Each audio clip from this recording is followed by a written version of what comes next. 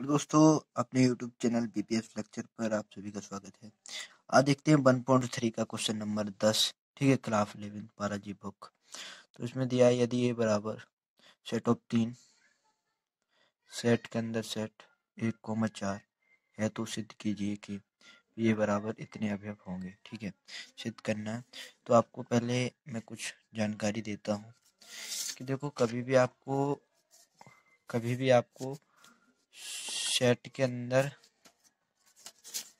कभी भी आपको जैसे तीन इसमें दिया है, ठीक है? और फैट के अंदर एक चार दिया है, ठीक है? तो इसको पूरा एक अभी मान लेते हैं। इसको हम मजला कोष्टक अंदर कह देते हैं, इसको सेट नहीं कहते, इसको मजला इसको पूरा एक अवयव मान लेते हैं इसको एक मान लेते तो इसमें दो अवयव है, ठीक है? तो इसमें क्या है कि ये सिद्ध करना है पी ए बराबर उप समुचियों की संख्या सिद्ध करनी है। तो उप समुचियों की संख्या, आपको पता है क्या होती है? उप समुचियों की संख्या होती है दोस्तों इसमें भी लिख दिया उपसमुच्चयों की संख्या।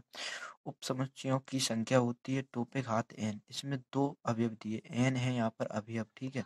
तो एन को अवयव से यूनिट किया, दो पे घात क्या दिया इसमें, दो दिया है। तो इसमें बता दिया कि चार अवयव, चार उप समुच्चय बनेंगे। तो इसमें देखें, एक, दो, तीन, चार। हाँ दोस्तों, ये बात सही है, लेकिन हमको भी अपनी तरफ़ से बनाने होंगे चार अवयव तो आपको हम बना के दिखाते हैं कि चार अवयव कैसे बनाएँगे, ठीक है?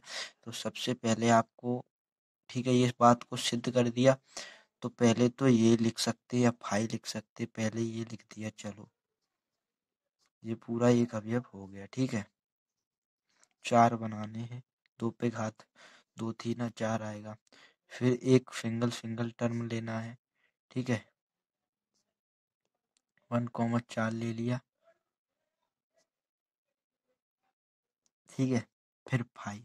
फाइव सभी समुच्चयों का समुच्चय होता है, इसलिए फाइव भी लेना पड़ता है, ठीक है?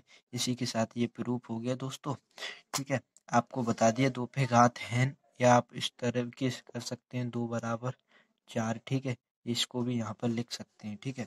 तो अब चलते हैं क्वेश्चन नंबर इलेवन की ओर। क्वेश्चन नंबर इलेवन में दिया है, दिया गया है ये बराबर ये।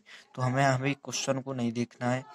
आंसर को नहीं देखना, हमें पहले देखना कि हम आंसर ला रहे हैं कि नहीं ला रहे, ठीक है? इसमें दिया है दो पे घात एन दोस्तों, मैं आपको बता देता हूँ, किसी सेट के अंदर ज़ीरो भी दिया है तो वो भी एक अवयव होगा, ठीक है दोस्तों? ठीक है? तो इसमें आपको अभी बताया था कोष्टक सेट के अंदर सेट है तो यह पूरा एक ही अवयव माना जाता है तो इसमें दो अवयव हैं। तो इस पर हम मान लेते हैं दो पे घात दो, ठीक है? ये हो गया चार। तो आपको पता चल गया, यहाँ पे चार अवयव बनेंगे तो पहले तो इसी को ले लेते हैं, ठीक है? ये अवयव ले लिया। फिर हम ज़ीरो को ले लेते हैं, ठीक, ले लिया। फिर हम दो, तीन मझला कोष्टक को ले लेंगे। अंदर मझला कोष्टक बोलते फिर सेट का कोई संबंध और फाई सभी समुच्चयों का समुच्चय, ये सिद्ध हो गया। चार अवयव बने, ठीक है दोस्तों? इसी प्रकार ये वीडियो समाप्त। क्वेश्चन नंबर दस और क्वेश्चन नंबर ग्यारह। वीडियो अच्छा लगा तो लाइक, शेयर, सब्सक्राइब करना ना भूलें। मिलते हैं अगले वीडियो में। इसी के साथ धन्यवाद।